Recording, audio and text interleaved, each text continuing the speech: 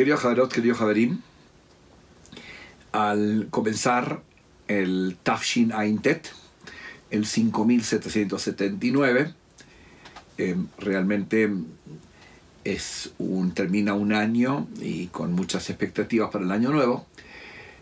El tema comunitario en Bogotá, estamos viviendo una muy buena época a nivel de que tenemos una buena armonía intercomunidades, las instituciones están funcionando todas muy bien, eh, tenemos la gran noticia eh, que se van a reactivar las macabeadas nacionales para el en, en, abril del año que viene, la época pre-Pesaj, y una iniciativa muy linda, eh, después de varios años que esto entró como en receso.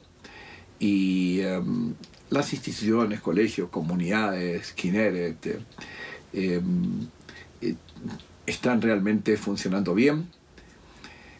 Por otro lado, en Israel la, noticia demasiado positiva es eh, la cantidad de turistas que llegaron a Israel desde enero a septiembre de 2018, estamos ahora, eh, 2.800.000 turistas en un país con 6 millones y medio de habitantes en nueve meses, no, ocho meses, porque si a fin de año estimamos que va a ser más de 4 millones.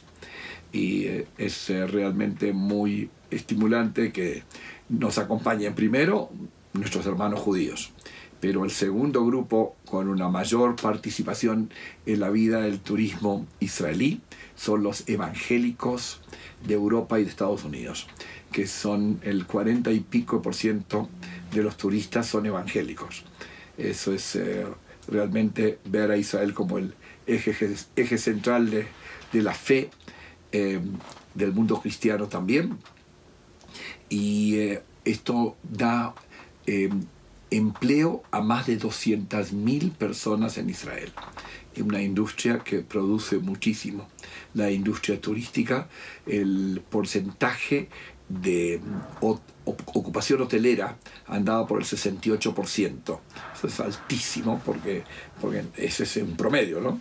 En el pico quiere decir que estaba en 100 y, en algún momento se habrá bajado a 50 y pico, pero eso es, eso es increíble comparado con cualquiera de las grandes urbes turísticas eh, del mundo. Eh, los sitios principales turísticos son Tel Aviv, eh, que le gana, eh, tiene una ocupación de casi el 80, Jerusalén, eh, luego Mar Muerto y Eilat. Y Eilat se va a ver incrementado cada vez más porque están por terminar la construcción de un aeropuerto internacional en la zona de Eilat y eso va a traer el turismo directo eh, de Europa, especialmente en los meses del invierno europeo, que no van a tener que pasar por Tel Aviv y tomar otro vuelo de, de Arcadia eh, incómodo, y van a llegar los vuelos, los charters directamente. Eh, todo esto es un muy buen, muy buen síntoma.